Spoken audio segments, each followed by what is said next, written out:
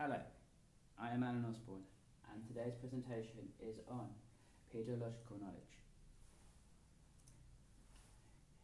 So it, the whole title is Pedagogical Knowledge and the Teaching Profession, and it's written by Sonia Guerriero, who has a PhD.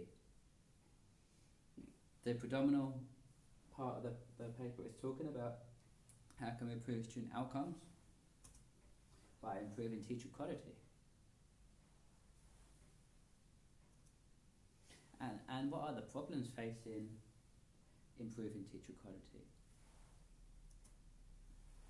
Well, we have an aging workforce, and closely linked to this factor, we have attrition, which is teachers no longer remaining teachers or not staying in the job long enough.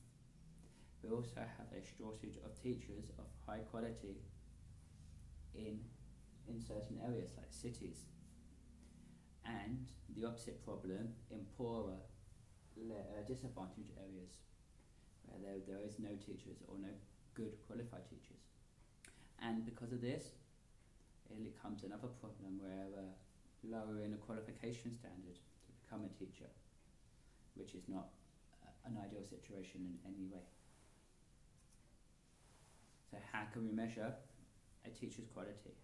Over here we have the cognitive abilities, all the stuff the teacher knows and his teaching styles and how to teach. And over here we have like his uh, mental and social stuff, so self-regulation, professional beliefs, and that. So this is a good way to measure a good quality teacher. And the paper mentioned other factors that affect quality in a classroom or the teacher. So we have class size, which is not something you, it's pretty obvious we can't talk about much. But these last three, I'm going to focus more. So qualifications, type of qualifications, and experience. So qualifications and certifications, certification is like basically um, having the right degree or the right qualifications, not just any kind of qualifications. And naturally, maybe going on teacher courses and learning how to become a teacher, and then experiences of actually using it, or and knowledge, and, and actually having the knowledge like that being your special area. And under all this kind of stuff is under the umbrella of pedagogy, which is basically the method and practice of teaching.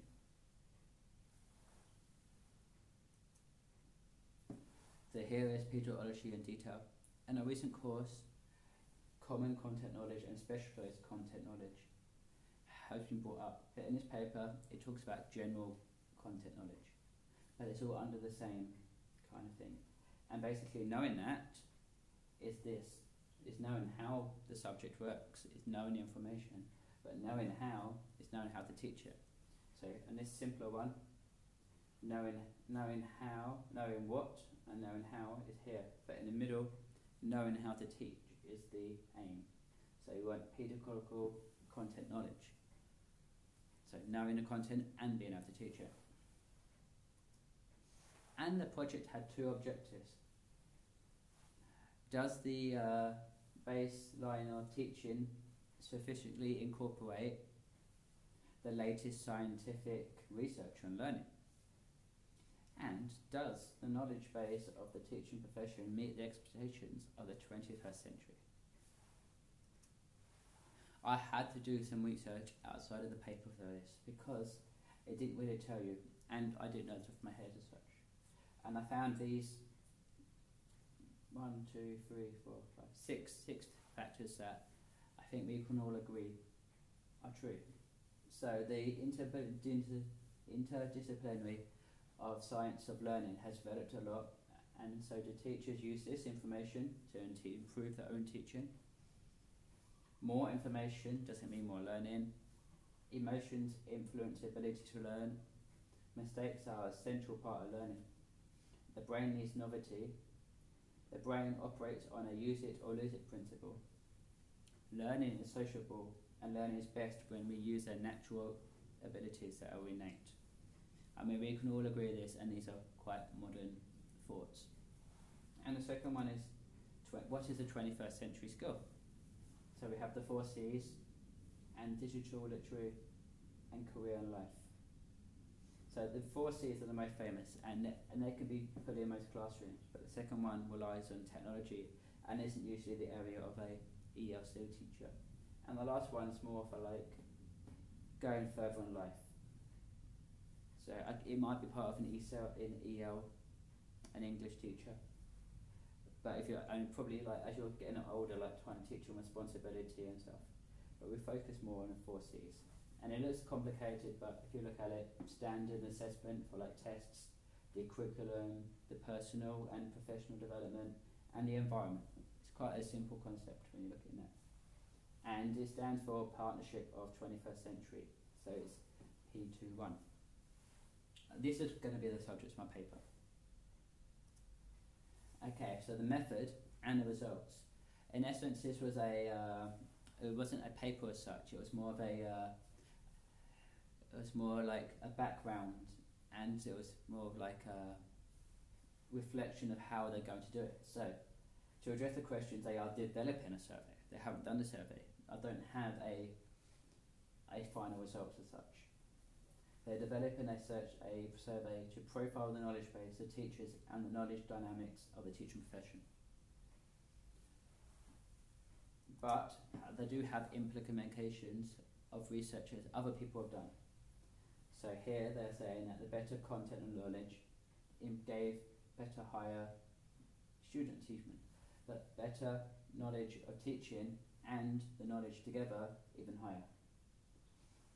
And they suggested that if you know how to teach and you know the knowledge, it's better than just knowing how the knowledge.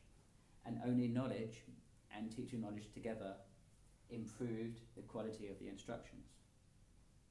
And they suggested like the higher cognitive activity, better relationships, if you can have match your teaching to your knowledge. The paper itself wasn't very detailed, and that's why I had to get a lot of my own resources, but it gave a lot of information. So I would say it was a very good research paper, but it, it definitely it, it, it gave lots of information. But then this is the last statement I found, and I've highlighted two important things. The blue one says teachers must be able to analyse and evaluate specific learning episodes uh, in combination with contextual and situational factors.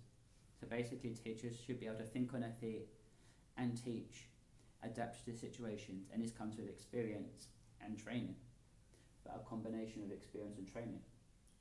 And the second one is to connect all this information to their specialised knowledge and teaching of the learning process. So, I mean, you still need to have the knowledge. So, you need to have a combination of knowledge, experience, and how to teach. Okay, thank you very much for listening to my paper.